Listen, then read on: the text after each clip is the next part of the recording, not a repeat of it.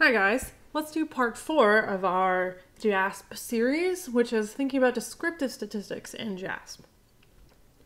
So let's get started by opening JASP and pulling up an example from their data library.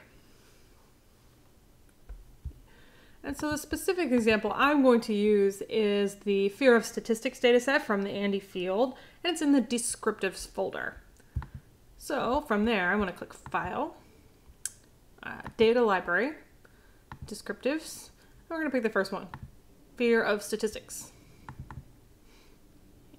So this already has some things calculated over here on the side, but what we can do is see, we can see, if I kind of pull this over, we've got a bunch of questions from the fear of statistics scale.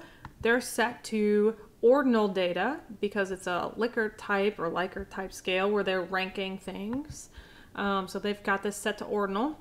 Um, and let's just say we want to calculate the average score for some of these questions.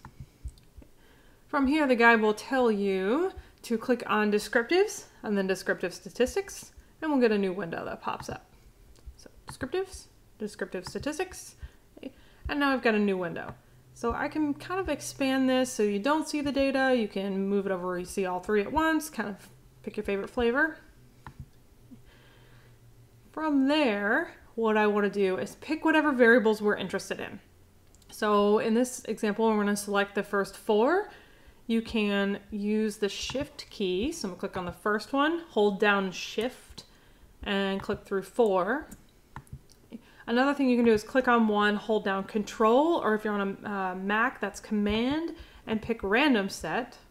So either way, we'll let you pick the variables you're interested in. And then I clicked on the little play button to move them over here to the right. You can also drag and drop. And you can put them in different orders if you wanted to, let's say, have question 12 be at the bottom. Well, I thought you could, but it's not letting me to today.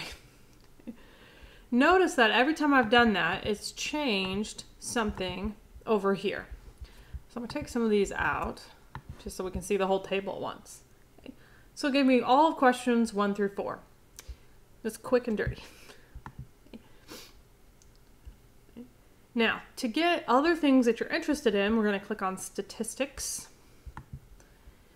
Now, we can click Frequency Tables, and that will actually work for this data because it's listed as ordinal. So Frequency Tables only runs for nominal and ordinal data. If this were listed as scale data, this wouldn't show you anything.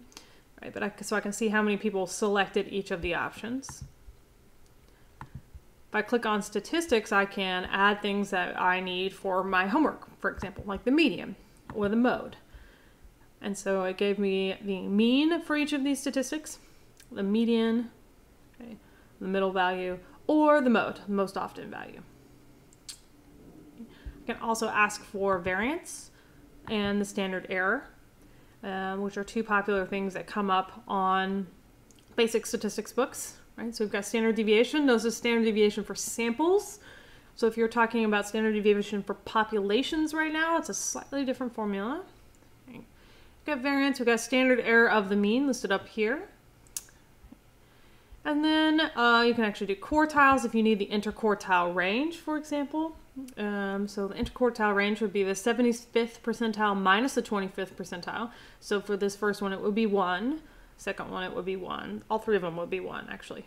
All four of them would be 1. Now, we have our descriptive statistics. If we want to copy them over to a Word document to upload, we do is highlight everything, hit copy, come over here to Word,